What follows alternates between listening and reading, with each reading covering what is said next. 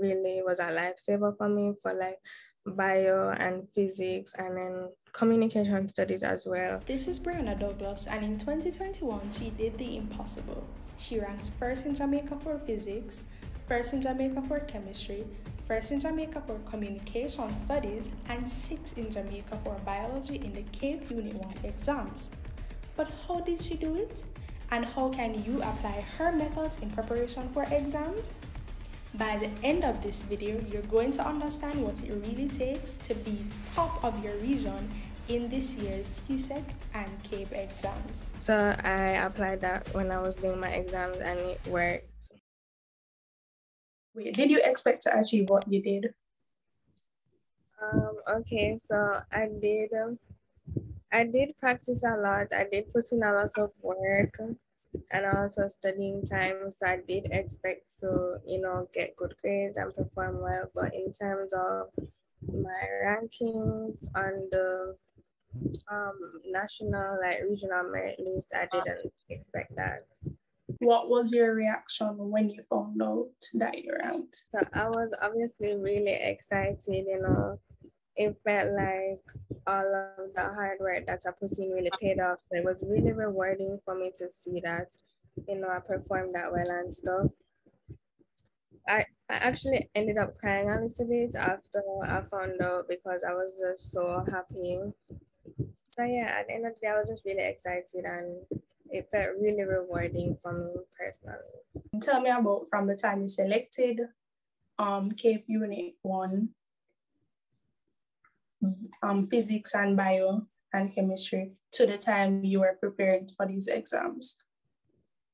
Okay, so um, when I, I when I really started studying after like you know mock exams at school, how I really prepared was that I obviously I followed along with the syllabus when I was like reading. So like I would read my textbook, I would read the study guide, and I'd follow along in the syllabus so I could ensure that I was like, you know, covering all of the topic, covering all the objectives that they wanted and stuff. And I also did use YouTube. I did watch a lot of like videos cater to like A level, like the channels that really cater to A level because their syllabus is really similar to ours.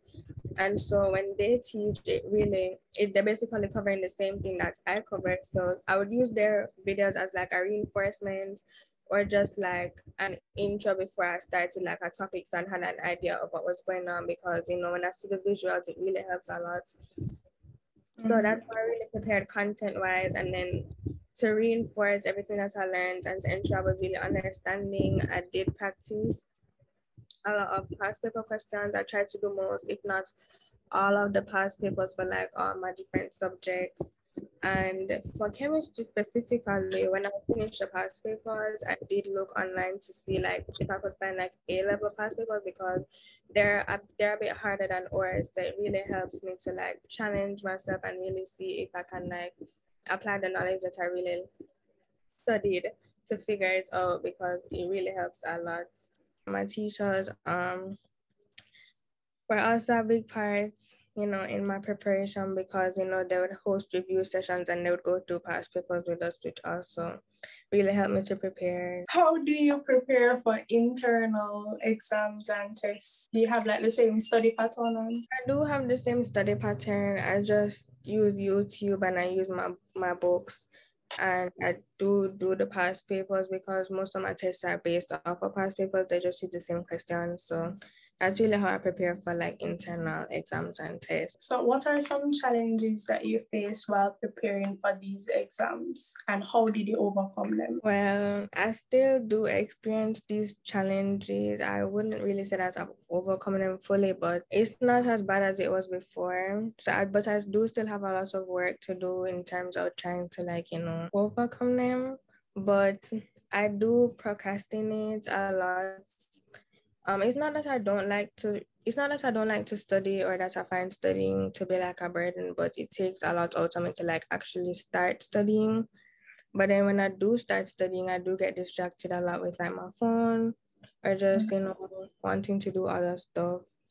But what i do to overcome it is like i try to set like times and i know i'm supposed to be studying so there's like sometimes in the night where I just know that I have to, you know, really start doing work at this specific time where you'll just find me trying to do some sort of schoolwork at a specific time, like in the night or something. Okay, so have you ever tried like putting away the phone or giving it to your parents until? No, I haven't tried that. I haven't tried that. Um, I just can't do it. I don't know. I don't think I can turn it off. I think we all struggle with that. How do you balance school, a social life, um, volunteering?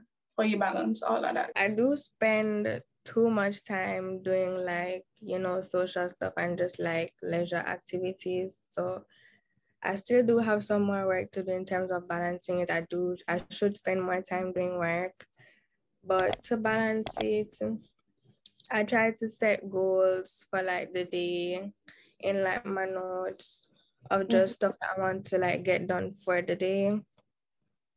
So I don't know, it kind of helps me to balance my time because it's like I can't go to sleep until I, you know, complete this or complete most of it because it just makes me feel like I have more control over the day or like just how I spend my time why did you choose to study sciences? Um, I've always liked the sciences from, you know, when I was like in the early grades, like grade seven, eight, and then when we are choosing our subjects, you know, I chose the sciences because I really enjoyed learning about, you know, the way stuff works or just biochemistry and physics.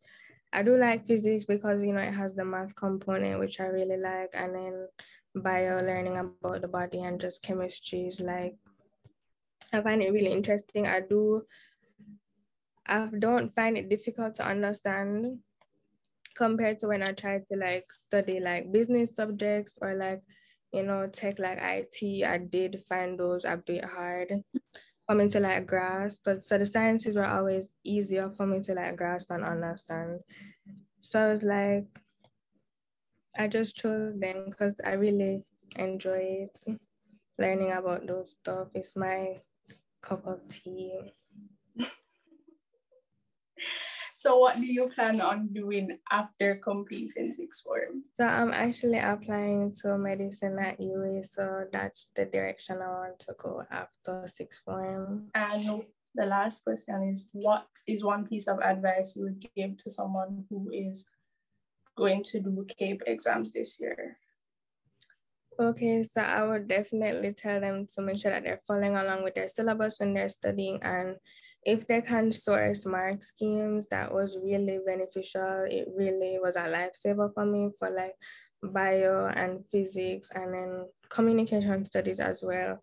When I found the mark schemes, it really helps because when you see the answer that they're looking for, what they're looking for, how they allocate their marks, you can apply it to like when you see similar questions, the answer that they have, or just the structure, how they structure their answers, you can apply it to those same questions.